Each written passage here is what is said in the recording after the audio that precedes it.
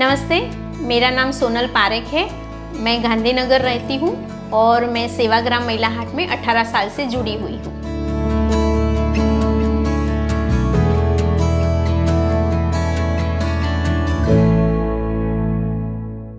सेवा का full form है सेल्फ एम्प्लॉयड वुमेन एसोसिएशन। उसकी स्थापना श्री इलाबेन भट्ट ने उन्नीस सौ बहत्तर में की गई थी और मेनली सेवा का विज़न यही है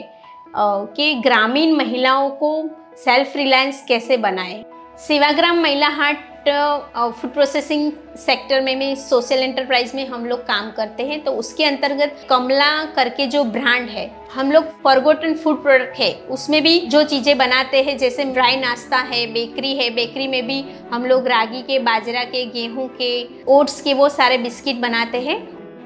2015 में जब हमने कमला शुरू किया तो सेवाग्राम महिला हाट की माध्यम से हमें बहुत सारी फ़ूड सेक्टर में ट्रेनिंग वगैरह दिलाई गई और कैसे बिज़नेस को रन करना है, उसके बारे में भी सिखाया गया।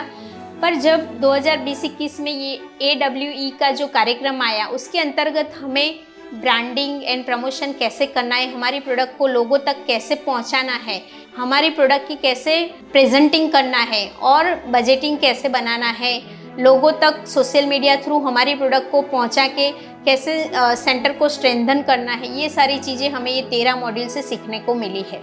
सेवा के माध्यम से मुझे ये जो ट्रेनिंग दिलाई गई है तो मुझे एक बहुत ही गर्व है कि मैं खुद एक हाउसवाइफ के तौर से यहाँ पे सेवा में 2004 में जुड़ी थी, पर अभी जो मैं खुद और भी महिलाओं को एज अ बिज़नेस वुमन तैयार कर सकती हूँ, वो मुझे बहुत ही प्राउड है और भी मेरा यही है कि मैक्सिमम बहनों को ये रोज़गार के साथ जुड़ के खुद उनको सेल्फ रिलायंस बना सकूँ।